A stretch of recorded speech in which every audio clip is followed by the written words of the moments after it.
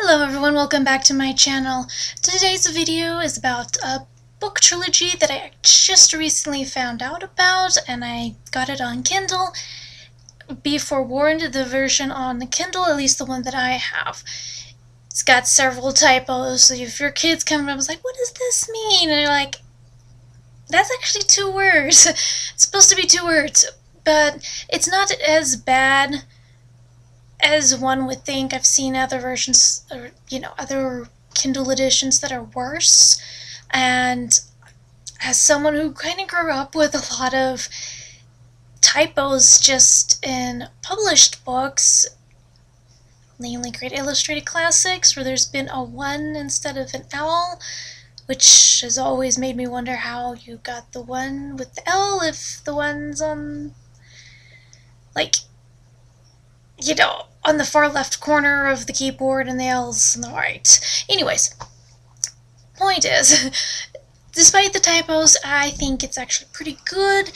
And this, I've only got it in the Kindle, but it's called The Secrets of the Deep by Gordon R. Dickon by Dick, the, Gordon R. Dickson.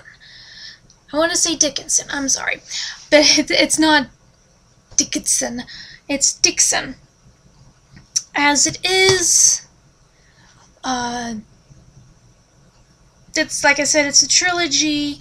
If you want to get one to let your kids read the first one, you can do that, or just get the whole trilogy. I think it's a lot of fun. You know, it's set in the very far distant future. That's actually in the past of 2013.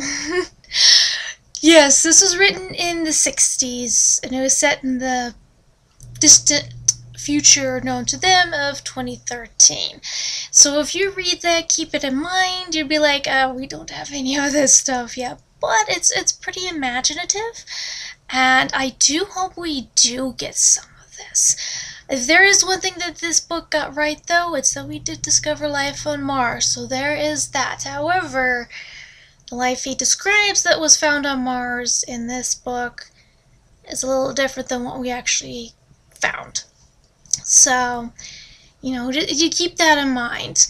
But otherwise, you know, it's pretty, it's, it's a lot of fun, short, obviously middle grade type, you know, level, if you will. I think there's a few words there in there that are, might be a little bit harder for well, I mean, it's probably, I guess you can say, harder for me, most people, because Liberulo,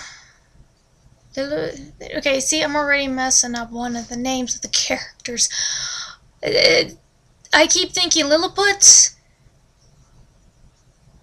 oh, uh, and Little, and what was the other one? I mean, I already said Little Barullo, but you know, it's it's one of those things you gotta keep reading. It's like, I, did I, I um, saying that right? But, you know, it's, overall, I'd say it's a fairly decent book if your kids are interested in, like, sea, marine biology and exploring the depths of the ocean. This will be the book for them, and even the book of you if you're interested. I mean, like I said, it is middle grade specifically, but it, it, it's it's got some pretty good story plots and some pretty good characters even, and some a few morals as well. But anyways, that's Secrets of the Deep by Gordon R. Dickson.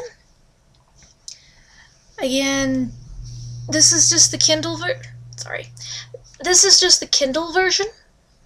You can get this on Amazon, I think, and the physical books as well. Um, I only looked for the Kindle because, you know, like I said, it was a lot less expensive than some other versions, but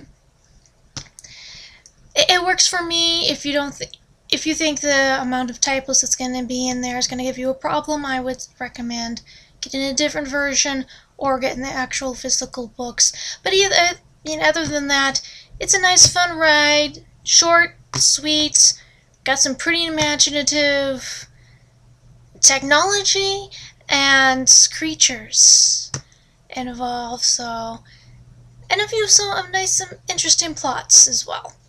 So I suggest taking a look and if you like it, great. If not, there's always something else you can find. Happy reading and God bless.